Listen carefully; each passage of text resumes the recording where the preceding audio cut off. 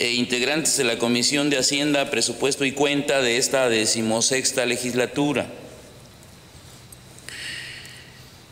Compañeros diputados que están también aquí interesados en escuchar la comparecencia.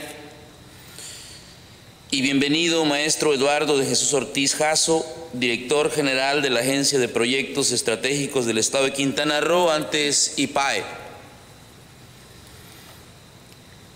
Yo suplicaría que eh, la documentación que nos expuso en el monitor nos la pudiera hacer llegar, es muy importante tenerla ya sea a través de una memoria o como usted guste, pero sí quisiéramos tener la, la información por escrito. A lo largo de la historia de la humanidad podemos encontrar ejemplos de colaboraciones entre el ámbito público y el ámbito privado.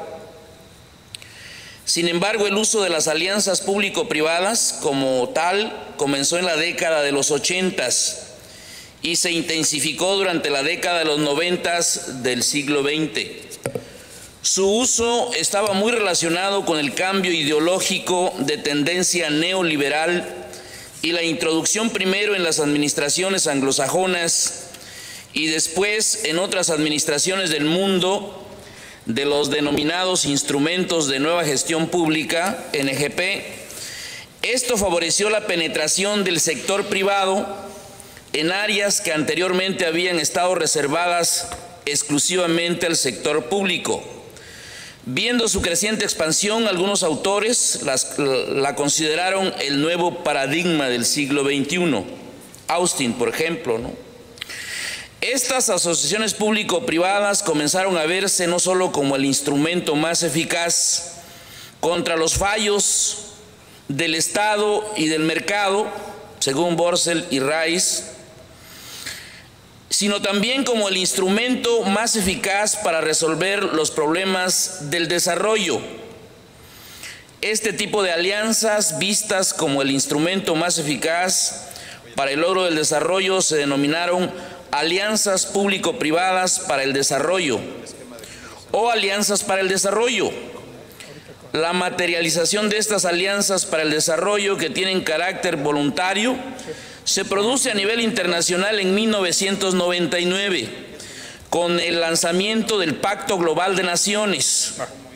A través de esta alianza, es a través de la ONU, entre Naciones Unidas y el sector privado, generalmente empresas multinacionales operando en países de desarrollo este último se comprometía a alinear sus estrategias y operaciones con 10 principios universalmente aceptados en las áreas de derechos humanos, trabajo, medio ambiente y anticorrupción. Pero además estas alianzas abrían la posibilidad para la colaboración entre estas empresas multinacionales y los gobiernos de países en desarrollo, donde estas empresas se encontraban operando.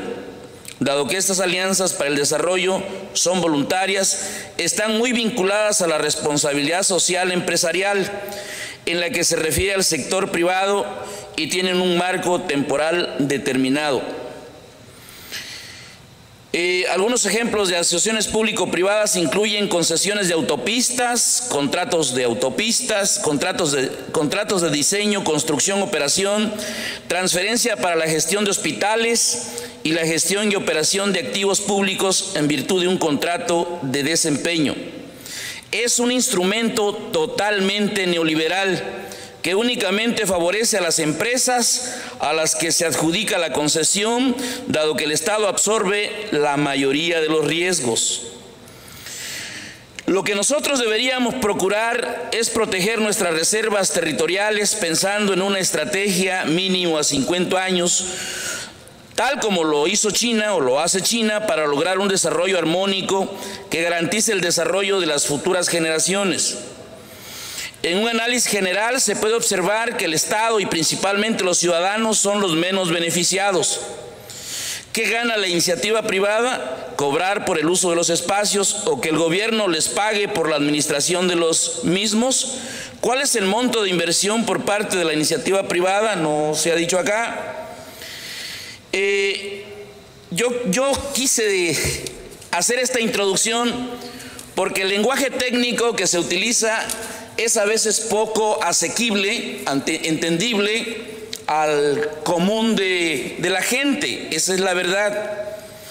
En realidad estamos hablando de una geopolítica y una geoestrategia donde se aplica una concepción sobre el poder, una concepción sobre el Estado, una concepción sobre el gobierno, una concepción sobre la política, inclusive sobre la democracia y la participación de los pueblos, que en este caso yo la veo prácticamente nula. Pienso que estaríamos, si fuéramos congruentes con la cuarta transformación, que yo pienso que no es esto lo que busca la cuarta transformación, deberíamos de hacer una revolución epistemológica, es decir, una nueva forma de comprender y hacer el mundo, donde el pueblo sea el epicentro de estas eh, mega obras, ¿no? Hace poco se presentó aquí el director de CAPA y realmente eh, el abastecimiento de agua potable es verdaderamente lamentable. La construcción de eh, los servicios eh, sanitarios también, o sea, e, e, es terrible hablando de Cancún, hablando de solidaridad, hablando de Tulum, hablando de la capital del estado. Y ahora resulta, ¿verdad?, que estamos más interesados eh, en que esta paraestatal tiene por objeto, así se dice en sus enunciados, lo leí perfectamente, la administración eficaz y el óptimo aprovechamiento del patrimonio inmobiliario de la Administración Pública Estatal, así como la constitución, administración y disposición estratégica de las reservas territoriales del dominio privado del Estado. Para ello se le ha otorgado un monto de 1.786 millones 904 mil 842 pesos repartido a través de dos ejercicios fiscales. En el ejercicio fiscal 2019, eh, AGEPRO recibió 886 millones 904 mil 842 pesos. En el ejercicio fiscal 2020 recibió 900 millones de pesos. Lo anterior para el desarrollo de los siguientes proyectos, que efectivamente los ha presentado de una manera muy moderna, y yo dije, hasta me está convenciendo. Y estos, eh, estas obras estratégicas es el puente vehicular de la laguna Nichupté, donde ya se ha dicho sus virtudes y que tendrían un costo de 4.455 millones de pesos.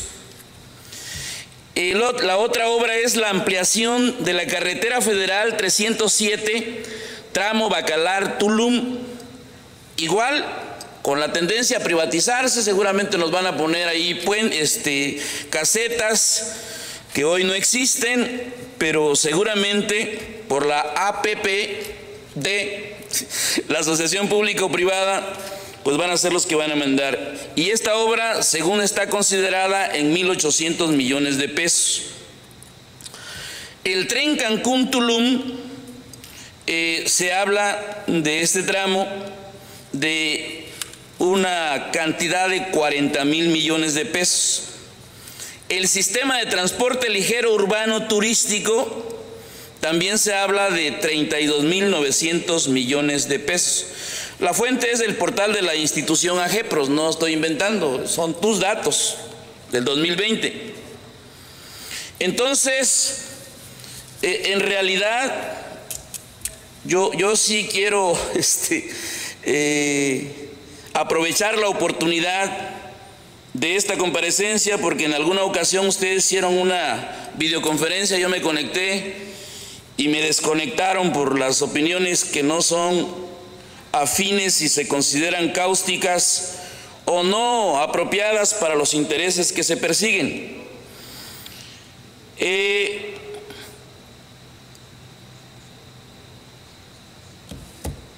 Pregunto, ¿Qué se ha hecho con el recurso asignado y cuál es el avance en cada proyecto? ¿En qué porcentaje es la inversión de la iniciativa privada? Y yo pediría por escrito esta, esta información, porque si no tenemos información en el Congreso y ahora que viene el análisis de la, de la ley de ingresos y la aprobación de eh, el presupuesto de egresos, pues tenemos que saber si efectivamente los dineros de los quintanarroenses se están yendo para beneficiar a los quintanarroenses o se están usando para beneficiar a las transnacionales y a los ricos de este país. ¿Cuál es el patrimonio del Estado de Quintana Roo? Eh, su participación, ¿qué empresas participan? ¿Por qué se habla de gestionar los proyectos ante el gobierno federal? Eh, ¿Cuál es el beneficio para el Estado el utilizar este instrumento? Si se pretende gestionar los mismos ante instancias federales, ¿dónde queda la iniciativa privada?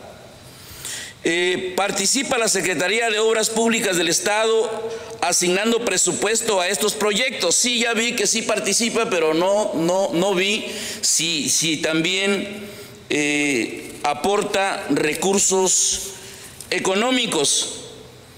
Y para concluir mi primera participación, que yo pienso que puede haber más, yo este, sí diría, ¿verdad?, que habría que tener un diagnóstico del rezago histórico en que viven los quintanarroenses de a pie y ver qué está haciendo AGEPROS para atender estas ingentes, urgentes necesidades que vive nuestra población.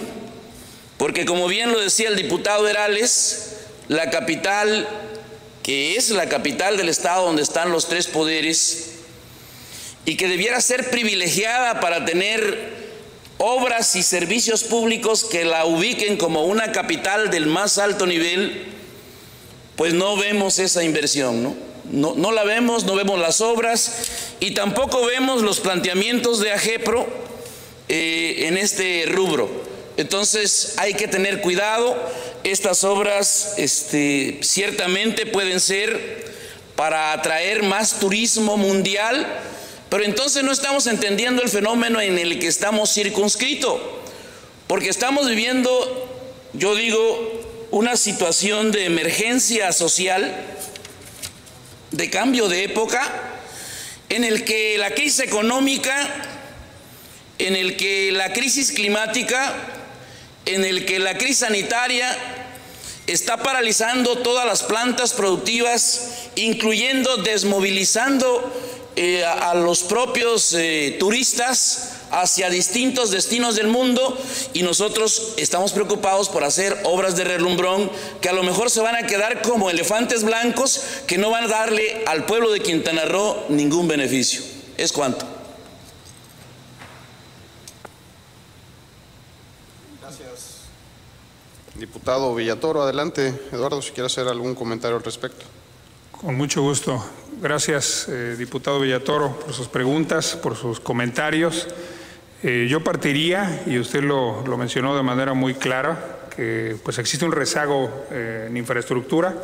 Este rezago en infraestructura pues no es propio de Quintana Roo, existe en el Estado y en todo México.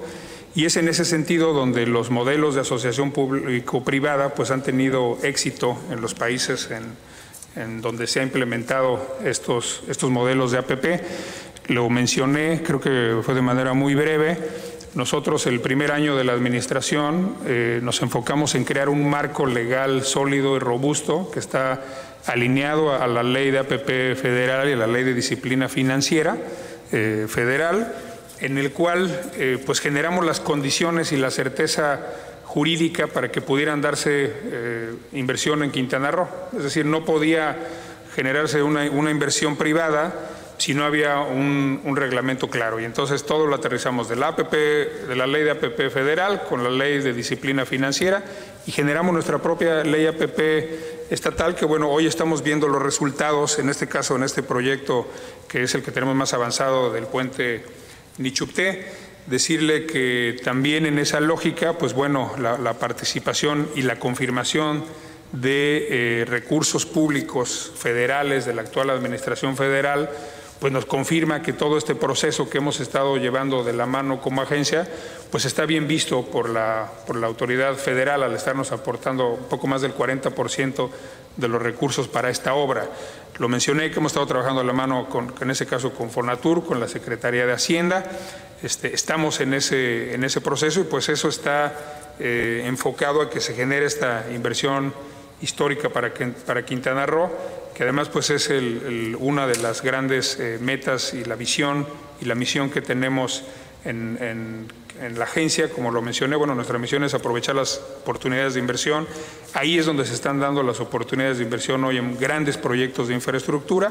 Estamos planteando proyectos eh, que son de necesidad, eh, tenemos una capacidad y como lo dije, un programa de trabajo avalado por nuestra Junta de Gobierno y bueno, pues tenemos que ir impulsando los proyectos. En este caso en particular, pues ya estamos llegando, en el caso del puente, pues ya a la etapa de implementación del mismo, ya no estamos en estudio, ya estamos prácticamente en el cierre, por eso ya se los vamos a, presentar para su, para su respectiva este, aprobación. Eh, decirles que bueno, hemos eh, generado este, este, marco legal. Me mencionó también sobre el tema de los recursos de la agencia. Decirle que los recursos que usted mencionó, que efectivamente están en nuestra página, son recursos que no se nos han asignado, son recursos que genera la, agencia como una dependencia eh, autónoma. En este caso, estos 900 millones de pesos, por ejemplo, que tenemos para este año en el programados en nuestro concentrado, pues son recursos que nosotros debemos generar. Eh, se hizo una proyección de lo cual de las ventas de las reservas territoriales, pues el 87% de esos recursos debiera generarse de ahí. Obviamente, pues por las condiciones del COVID y todo lo que ha pasado este año, no se han generado esos ingresos, la agencia no tiene ni ha recibido esos recursos, insisto, son recursos propios que tenemos que generar. Y derivado de todo esto, bueno, hemos ya planteado una reestructura que se envió ya formalmente a la Secretaría de Finanzas para su revisión y aprobación, donde le estamos diciendo realmente cómo vamos a cerrar el año. Las proyecciones es que el año lo cerremos aproximadamente al 50% de lo que proyectamos. Sea, seguramente llegaremos ahí o muy cerca a un 50% de lo proyectado. Más no son recursos que recibimos, insisto, son recursos que son generados eh, directamente por la agencia. Eso es lo que lo puedo comentar. Bueno, de, la zona sur de los proyectos también lo mencioné. Este, seguramente, y ahorita en esta revisión que estamos de la, de la cartera de proyectos, nos vamos a enfocar en este 2021 en proyectos para la zona sur. Por eso puse el caso de los terrenos de, la Guada en Escalac para implementar proyectos, pero también estamos insistiendo en la gestión de la ampliación y modernización de la carretera eh, Tulum-Bacalar y mencioné también los patios de mantenimiento del tren Maya para la ciudad de Cancún, entre otros. Estamos revisando ahorita ya con varios sectores empresariales del sur y sobre todo de Chetumal, pues un portafolio de cerca de 20 de proyectos y seguramente, insisto, de ahí haremos eh, gestiones para el Fondo Metropolitano. ¿Me permites, Pepe? Adelante, diputado Villatoro. Bueno, eh, querido maestro Eduardo de Jesús, ¿Han pensado ustedes, porque entiendo que es un nuevo régimen político ¿no? que se instaló en el 2016? Y este régimen político ganó por la enorme corrupción que generó, el anterior régimen político. Y la gente, con el hartazgo, ¿verdad? Este, y la esperanza de que un nuevo régimen político le pudiera cumplir lo que no le había cumplido un régimen que duró más de 80 años, entonces ustedes no han pensado en convertir esta figura en asociaciones público, eh, uniones de ejidos, asociaciones públicos, sindicatos, asociaciones públicas, micros, pequeñas y medianas empresas, asociaciones públicas, pueblos mayas. Digo, lo, señalo porque yo pienso que eh, la institución que usted representa es una institución pública, de servicio público, no de servicio al capital extranjero o al gran capital nacional, sino de servir al pueblo. Debatíamos que de dónde viene la palabra servidor público y viene de la palabra siervo, que tiene una traducción bastante peyorativa que quiere decir criado, en la época de los nobles, ¿verdad? Pero José María Morelos lo tradujo eh, no de esa manera, sino dijo, nosotros los mexicanos y de manera particular, yo decía José María Morelos y Pavón, quiero ser siervo de la nación, es decir, servidor de la nación, servidor del pueblo. Entonces, ¿ustedes no han pensado en eso? Es una buena pregunta, diputado Villatoro. Sí, sí se ha pensado. Sin duda, eh, tenemos claro que somos un, ente público y si bien la función es atraer inversión privada, eh, las posibles asociaciones con ejido y con, en su caso, con otras entidades públicas también están contempladas y el marco legal lo permite. Entonces, en el análisis de cada uno de los proyectos, pues estará evaluando la pertinencia de, de cómo ir sumando a otras entidades, sin duda, de más orden público. Sí está planteado de esa manera.